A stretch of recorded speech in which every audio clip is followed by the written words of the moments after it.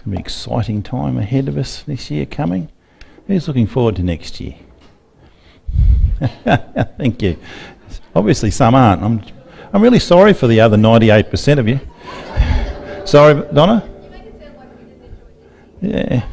We were in there praying this morning and we're just sitting there for a while and we're giving thanks for the favour we found in God this year, all the good things that have been happening. I know people have had issues and hassles, but it's always great to say, well, we just want to thank you for everything, walking with us through the times that are tough, but also, um, you know, sort of uh, just showing us what, you, you know, what we need to do and um, encouraging us in that. And I pray that your time here with us this morning will be encouraging and uh, in that regard as well. Well, because it is the last day, and we always got to talk about New Year's resolutions just for a moment, because then we'll move on. They're not part of the message, but I thought it's good to pause. Who's put their name down for a gym membership this year? Yeah, I'll give. Thanks, Steve. I see you, brother. I see that. I see that hand. Yeah. yeah, I give up being a financial contributor to the gym years ago. Yeah. Now, I found these couple of things that I think might encourage you. Oh, before I start, I've just got to show. Anne Taylor and Matthew Taylor sent me this image on Facebook this morning. This is the church, view from their church window this morning. And I thought, I wonder how many people really squeeze in for that seat near the window. And how much they actually, if a whale goes past, oh, look, there's a whale. Hang on, Jesus, there's a whale.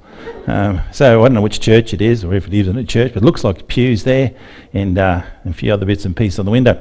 But yes, as 2017, 2018, we always make resolutions, and I, I think this one sort of sums up the world as we know. December 31st, there's no one in the gym. January the 1st, there's heaps of people in the gym, and uh, they all mean well to change their lives and to move on. They should have a January 2nd because then the gym would be back to the next one there because it's all too hard and it's all to go on a diet and things like that. But I found this one that sums up things probably more appropriately in our world today. You don't go to the gym, didn't go to the gym today, but the cashier's name McDonald's was named Jim, so they're the same thing. And uh, I think unfortunately you're drawn to the, the golden arches sometimes and, and that sort of thing happens. But folks, I wonder if in your mind, what you're thinking about this year. As you come into church, into our worship centre on Sunday, there's a sign above the door. It says Gatton Baptist Church, and underneath it's got these words, walking with God in the world. And we sometimes don't even see that up there. Sometimes we just look up, oh yeah, there's the building. But those words underneath are very important for us. It sums up what we're about. And, um, you know, walking with God and, and in the world is something that, you know, is, is close to Jesus' heart because that's what he did. And he walked with his heavenly Father, but he also ministered in the world. We're going to talk a little bit about it today when we look at Acts. We're going to continue with Acts men. And um, I played around with a few graphics up here. I just wanted to show you how clever I am, just to sort of bring that emphasis you. If you want to open your Bibles up to Acts 5 12 to 17, and um, someone's obviously ringing the church in deep need, Richard, so we better make sure you answer that.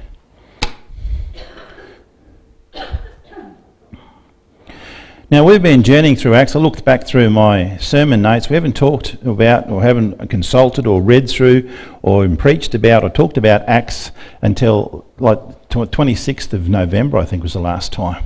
So we're continuing our series through Acts, and um, we're going to keep having a look at them. We've just, the last time we, we have a look at the scriptures, Ananias and Sapphira had just been smited by the Holy Spirit and we looked at the ramifications of those sorts of things in life. So the church is sort of reeling a little bit from that, and we read on. It says, The apostles performed many miracles, signs, and wonders amongst the people. And all the believers used to meet together in Solomon's colonnade. No one else dared join them, even though they were highly regarded by the people. Nevertheless, more and more men and women believed in the Lord and were added to their number.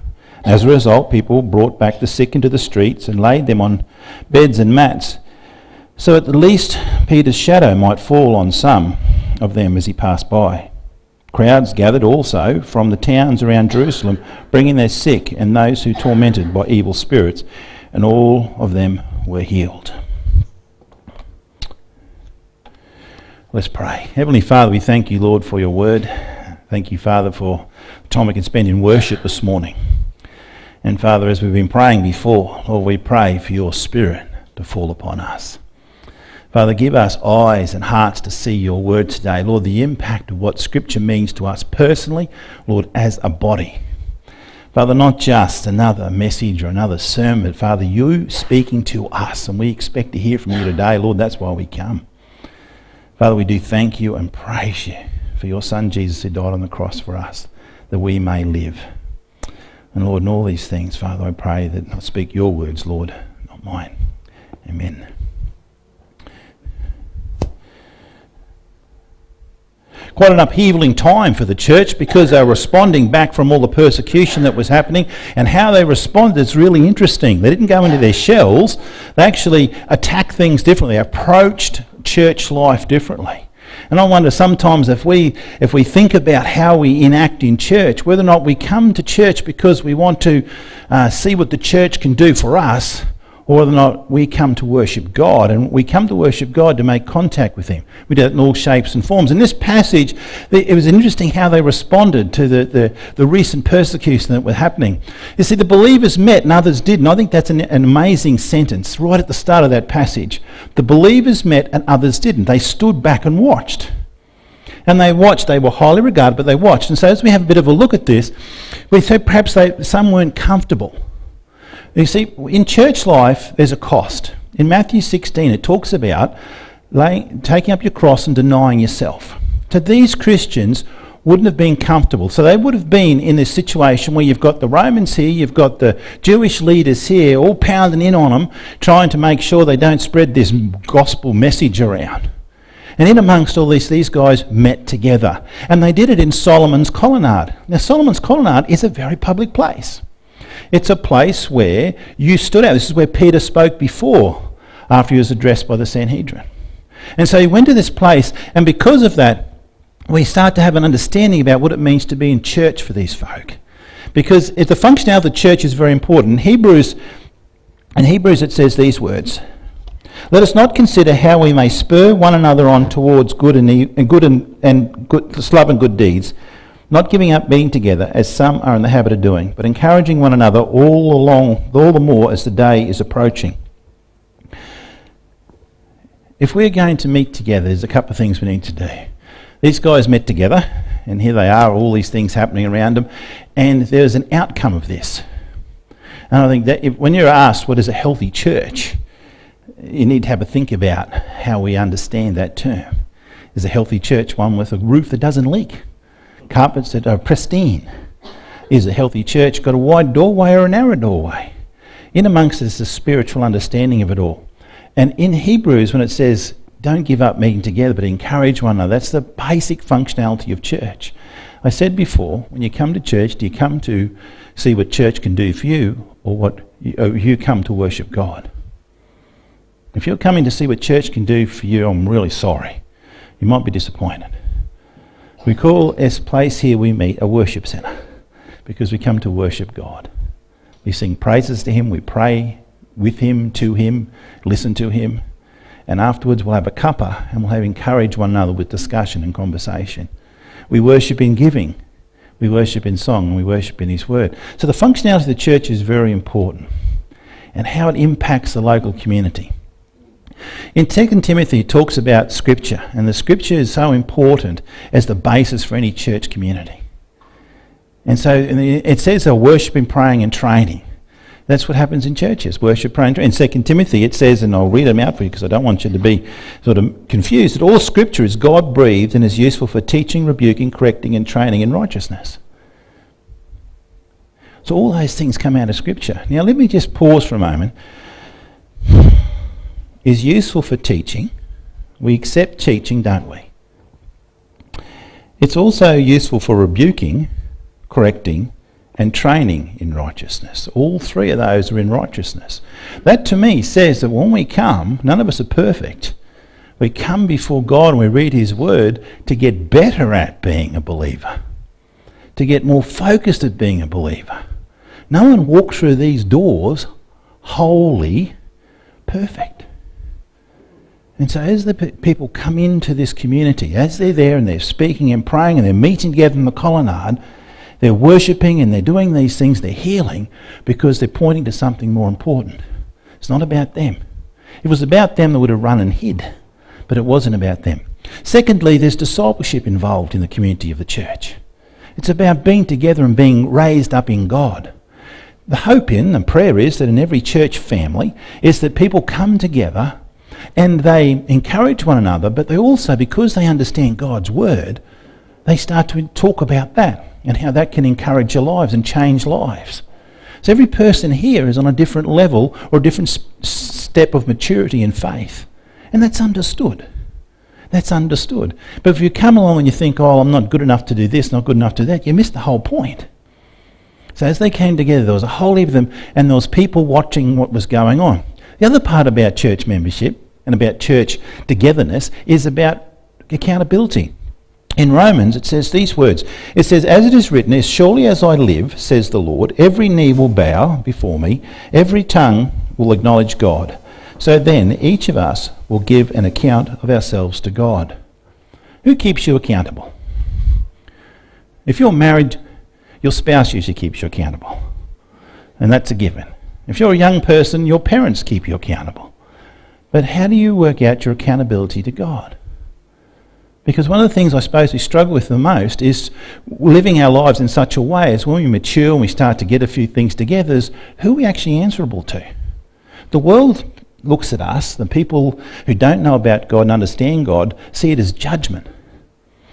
If you want to be in a really great relationship with a mentor, you let them make you accountable. I've got some material in my office that I use from time to time with people that uh, want to go through a mentoring process, and, and there's some questions. I can't remember the author, he's quite a, a well known author, but he put these, it might be Chuck Swindoll, he put these things together and he says, Have you, and the questions you get to ask are these things Have you um, sworn lately? Have you done something illegal lately? Have you looked at the pornography lately? And he goes through three or four questions, and he says, and the last question is, Have you just lied to me? Now, people say, oh, I love these, this will keep me honest. They get to the last one and go, can we leave the last one out? If we leave the last one out, I'll be a bit more comfortable with it. See, accountability before God is like that. If you sit before God and you say, God, I need you to examine me and look at me, is there any way that's not right as I come in to worship you? And that's not just on Sunday, it's every day. Because none of us are perfect, but we are forgiven. We're on a journey with God. And that accountability helps us to stay in focus with God. And I pray that you have found someone in your life to help keep you accountable. If you haven't, can I encourage you to pray about that? If you're going to make a difference for God in His kingdom and in this world we live in, this is a great time to start thinking about these things. And then it says that the, there was others watched from a distance. It was an interesting phrase there. I'll just read that from Scripture again because to me it just it was sort of oh this is really interesting. It says um, no one else dared join them even though they were highly regarded by the people. No one else dared join them. How many times have you invited somebody to church and they haven't come? How many times have you invited somebody to your house for a barbecue and they didn't come? There's a lot of difference, isn't there?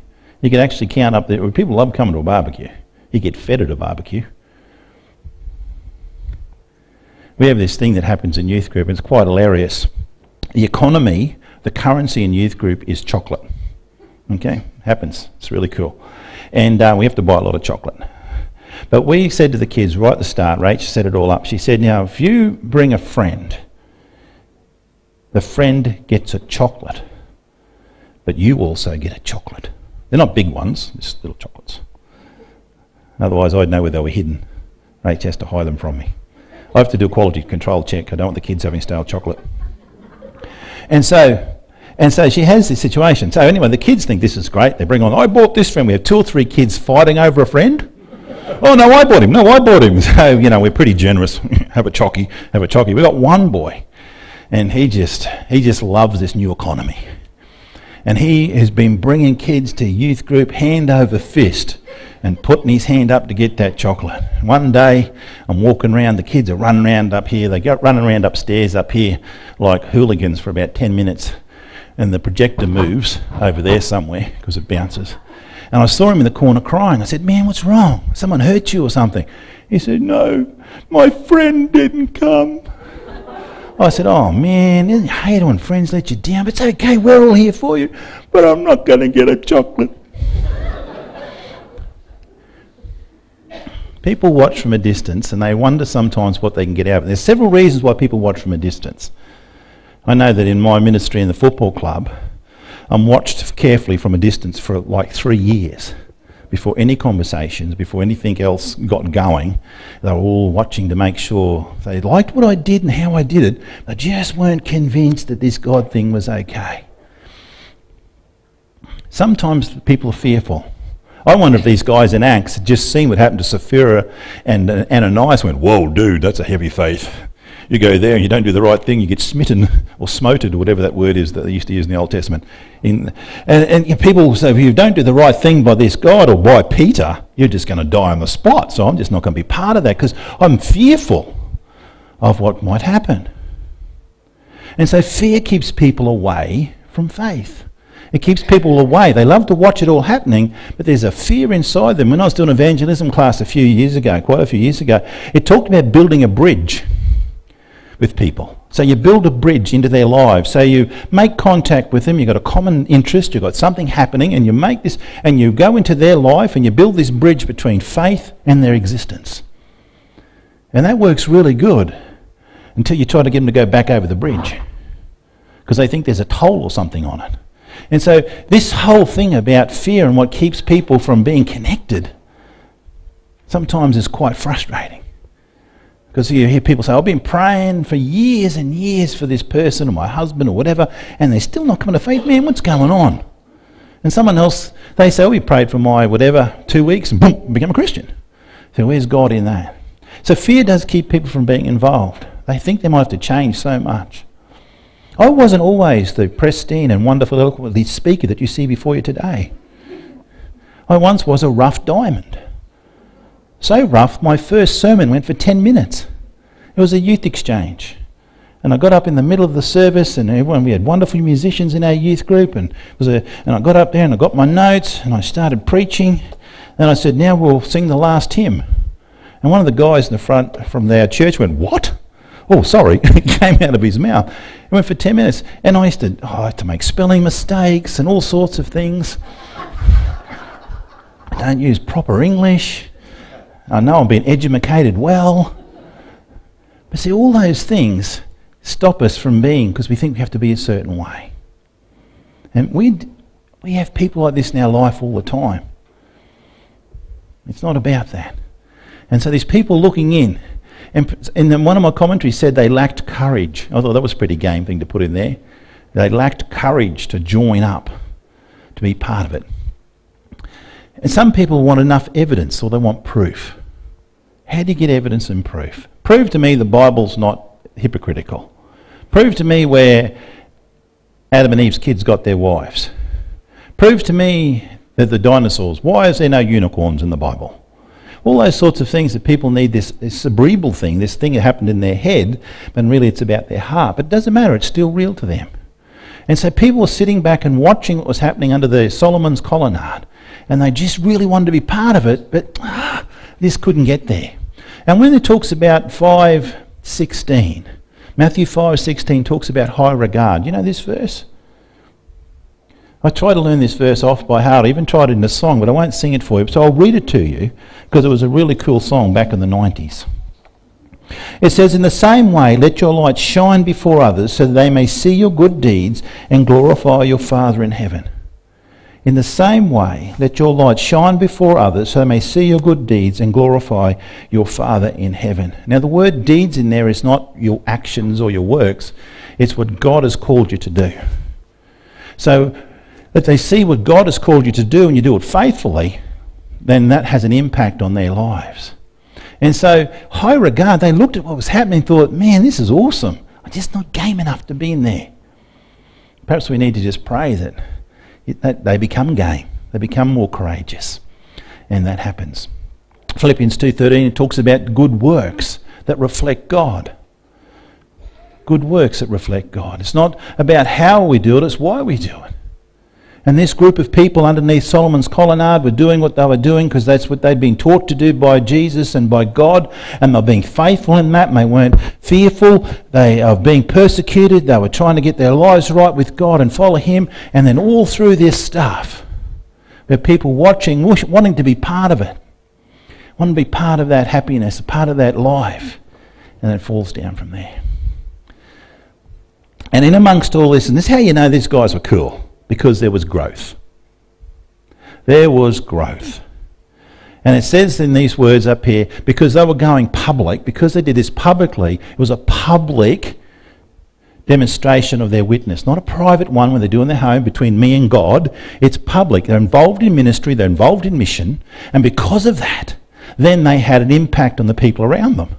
And this is how the Holy Spirit works. And the person who prayed before, Holy Spirit fall in this church, I pray that's our prayer every day is that we grasp what God's on about, not what we're on about. And so going public is a big thing. A couple of people came and saw me after church last Sunday. I forget which day it was now. I think it was the 24th. We're talking about baptism, and a couple of these young people are going to come and saw me about baptism. And, and um, you know, I love baptisms because we can do it in two or three places. We can do it here in church, means we invite people into a hallowed sanctuary, or we can do it at someone's house at a pool and have a bit of a barbie afterwards, a bit of a yarn, and maybe, you know, a bit of sort of informal stuff might go on. People might feel like asking questions. Or we could have it in a creek where we catch a disease. So I'm really in favour of the pool idea. So maybe we might end up in a pool somewhere next, next couple of weeks. I don't know. Just want to keep your heads up for that one. But part of that whole situation is I ask people to go and be baptised, you need to write a testimony. Testimony goes for, you've got two versions. You've got the two minute version and you've got the 10 minute version. Now, the two minute version is the one that you share in church. The 10 minute one is if you get someone locked in a car with you and you're travelling for two or three hours.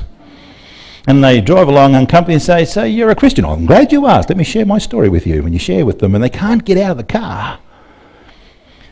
But it's about the whole idea of the baptism is not so much the dunking and the bloop, bloop, bloop, it's about a public testimony.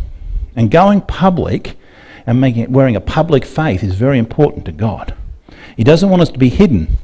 And um, I found a scripture verse that um, I found a song from the 90s, 96 by Newsboys. I'm not going to sing it.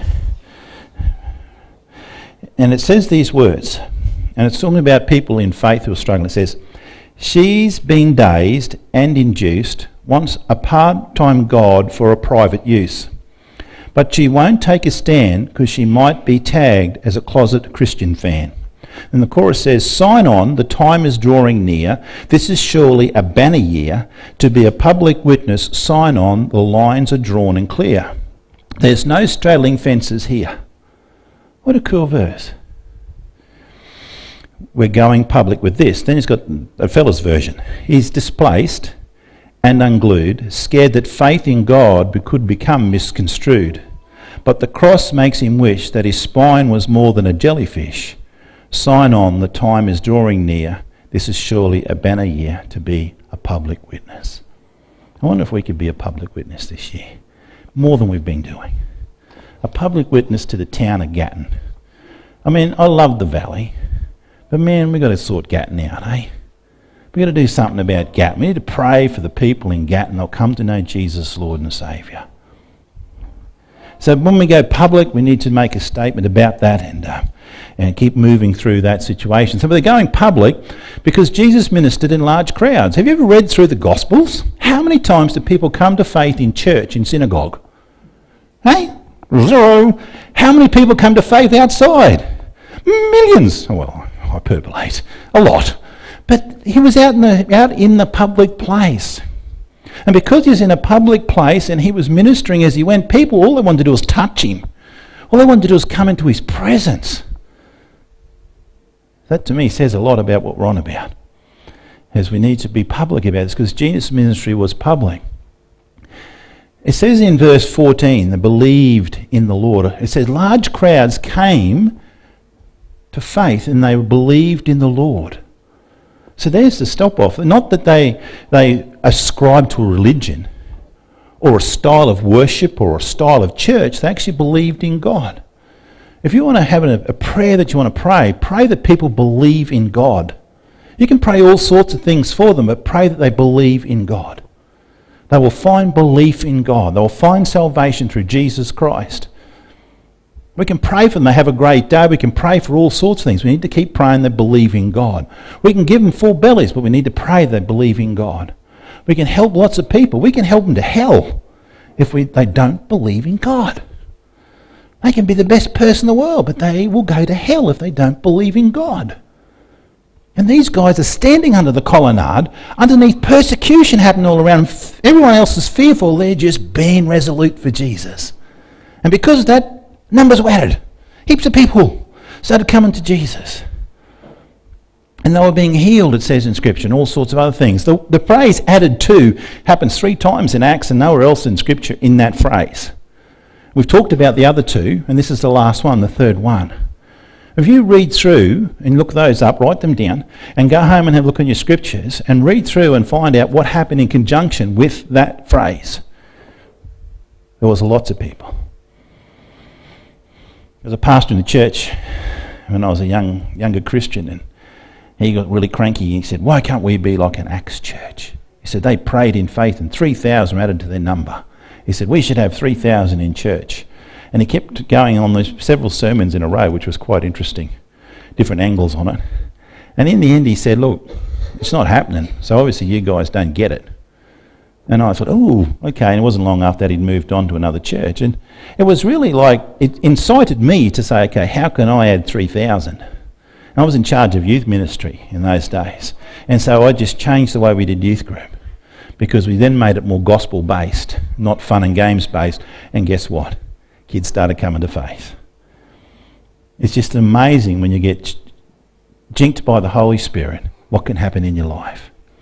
And so they were added to the number things were happening. And it's not just the numbers, but this thing we need to get understanding. It's what people get scared of.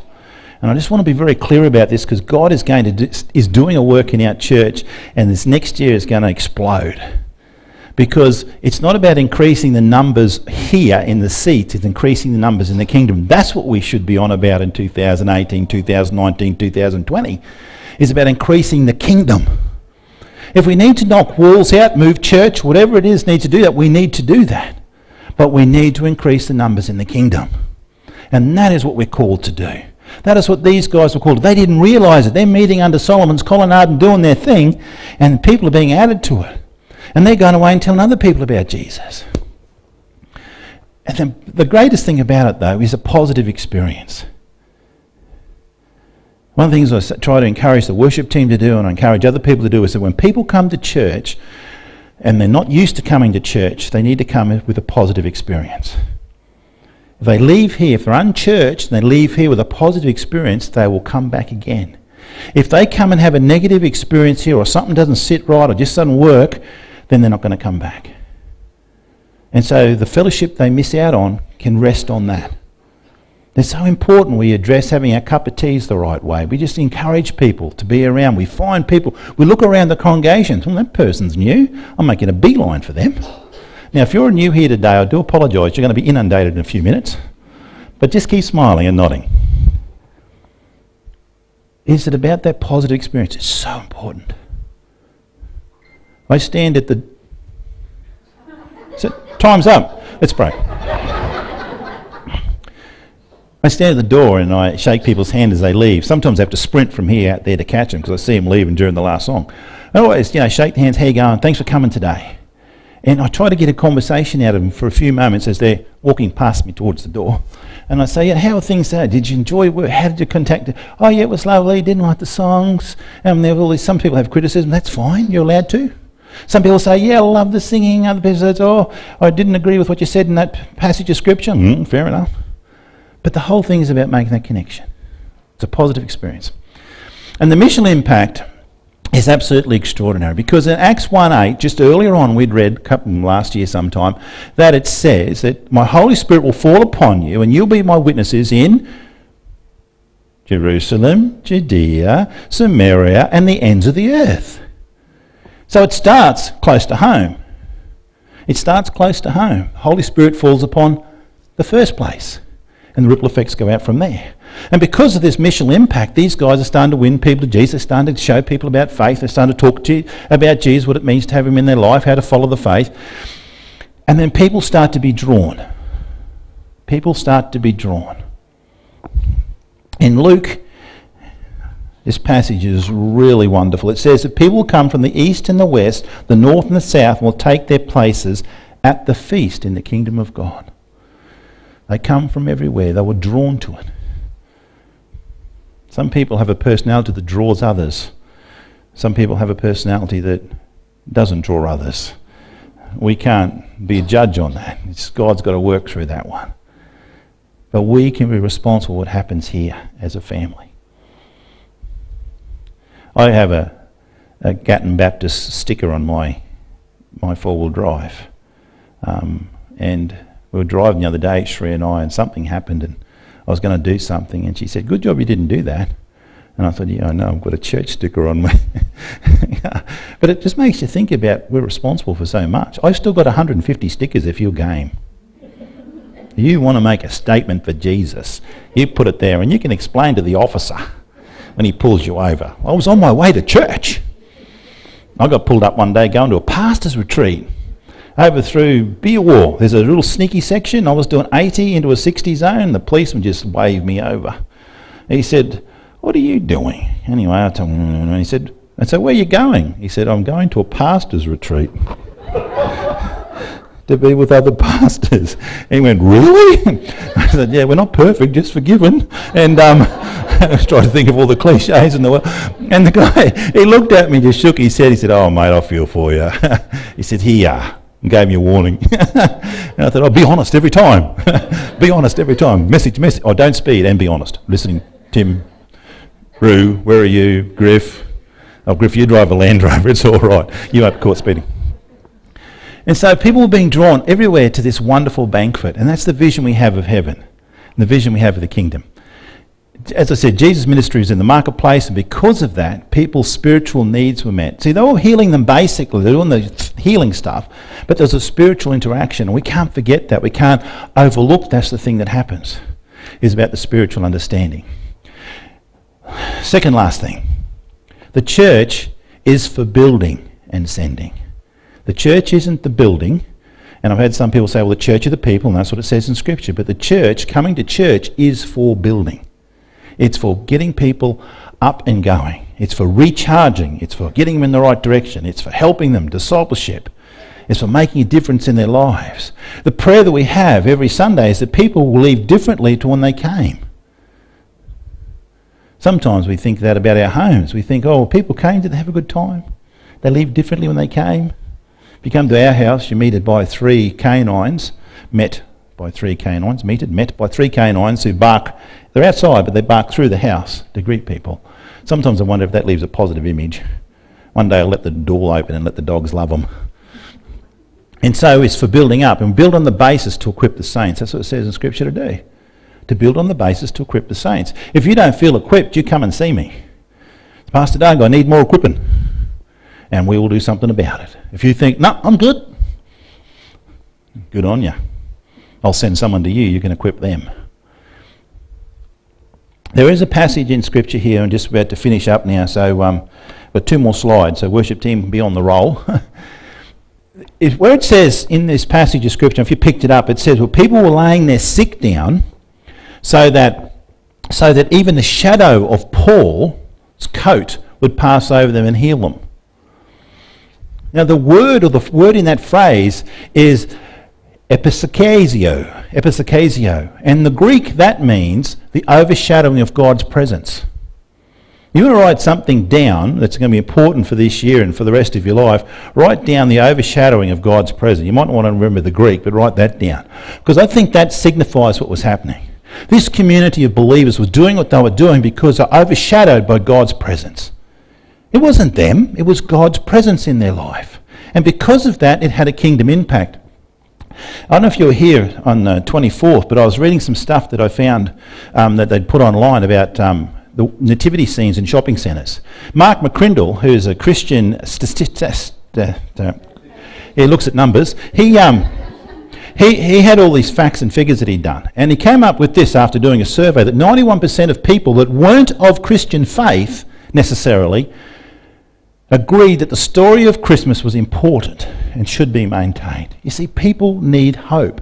We think that people don't want to know about Jesus, but in their lives are so confused. And the people standing back at the colonnade watching, their lives are confused. They were limited by their humanity. They need hope. They need to be able to connect with a Lord that loves them, a Saviour that will save them. And that is what's happening there. And if you think of that one little stat, think about how people observe what's going on in the life of the church and in your life. How does that make a difference? In 2018, we need to be in the overshadowing of God's presence. That's the thought I'm going to leave with you today. It may be a prayer that you can pray, Lord, just help me to understand what this is about. Lord, how can I be of better impact for your kingdom? Heavenly Father, how can I just contact that and how can I really get into that for you? That your, that your presence will be in my life like a, over a shadow. The second part of this message will be next week in the world. I know you think I've spoken about it already, but God's funny like that. He has more in store. Can I just say one thing, and I just want to encourage you that bringing a person to church won't save them. They need Jesus. Bring them here. You may hear the gospel. I try to put a gospel message in nearly every week, but a lot more happens before they get to hear for fellowship.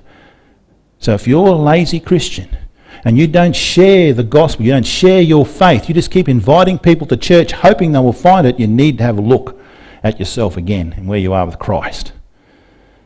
Because you can't, don't, don't rely on this building. Think about what God has put in your heart to share.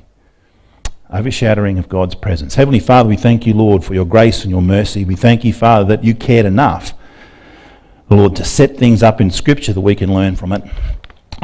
Father, we pray for just the overshadowing of your presence in our life. That, Father, you give us eyes to see and ears to hear the hopelessness of those around us, that, Father, we can connect with them Lord, just keep us, help us, Lord, just to keep chipping away at that crusty exterior. Lord, we pray for opportunities to share our faith. Lord, to share it in a real way. Lord, let's be authentic about it. That, Father, that we can just do as the guys did under the colonnade. Lord, just standing and doing what you called them to do, and people were being added to their number because they wanted to know about you. Father, we pray this as a church as we go through into the next year, that, Lord, that we will grasp what you've called us to do. Father, we'll make a difference for your kingdom because of your Son Jesus and what he made for us. Lord, we thank you. It's in your name. Amen.